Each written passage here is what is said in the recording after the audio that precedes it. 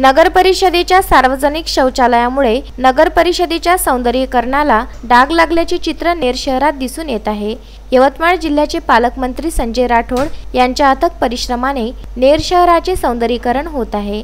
नेर शहरामध्ये नगर परिषदेचे भव्यदिव्य कार्यालय गार्डन प्राथमिक शाळा नवीन निर्मिती भाजी संकुलाचे काम सुरू आहे. भाजी संकुलाच्याच मेन रोडच्या मधोमध पथदिवे लावण्यात आले आहे. भव्य दिव्य इमारती इमारतीच्या आजूबाजूच्या रोषणाईमुळे नेर शहर चमकत आहे. परंतु नगर परिषदेच्या अस्वच्छतेपणामुळे सौंदर्यीकरणाला डाग लागला असल्याचे चित्र दिसून येत आहे.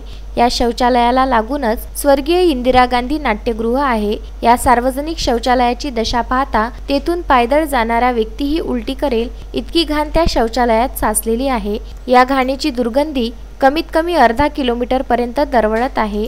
या बाजूलाच हॉटेल व इतर दुकाने आहे. नेर शहरात बाहेर गावावरून येणाऱ्या महिलेसाठी लघुशंकेची कुठलीही व्यवस्था नगर परिषदेने केली नसल्याचे चित्र दिसून येत आहे. त्यामुळे बाहेर गावातून नेर शहरात येत असलेल्या अनेक महिलांना लघुशंकेला जाण्यासाठी कुचंबना होत असल्याचे दिसून येत आहे. त्यामुळे सौंदर्यकरण करण्यासोबतच याकडेही संबंधितांनी लक्ष द्यावे अशी मागणी नागरिकांकडून होत आहे. नवनाथ दरोई विदर्भ न्यूज नेर परसोपंत.